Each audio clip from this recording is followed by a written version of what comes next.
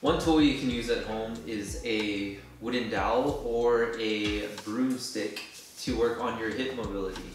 Um, this might feel a little silly, but all you're gonna do, you're gonna grab your hands together at the middle of the broom, broom here, and you're just gonna move your hands forward and back like this. So if you see it from the front, the top view here, my hands are doing this. Now, how we're gonna add our hips into it is my feet are gonna be shoulder width apart.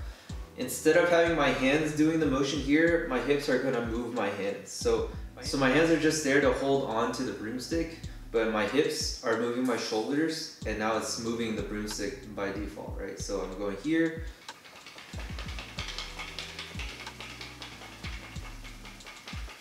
If I keep my hips stable, I'm just moving with my shoulders like this and my hands are going back and forth.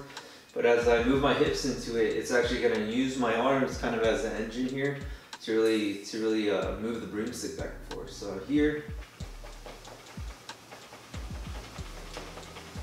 imagine every single time you throw a punch out, your hips are kind of shaking or vibrating to add a little more power to that, right? So here.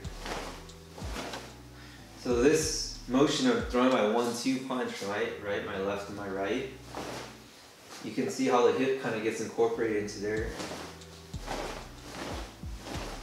That same motion happens when you do this.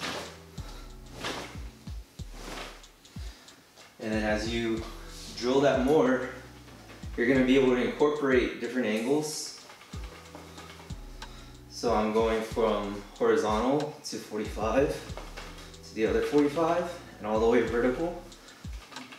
Generally speaking, you wanna have your fists touching, but you can have your hands like shoulder width apart here and do the same motion. It might feel a little more comfortable that way to uh, kind of mimic more of the punching, more uh, punches, right? So my hands are here, they're not really punching from close here, but they might be punching from out here, the same width as we uh, hold the broomstick. So I'm going like this.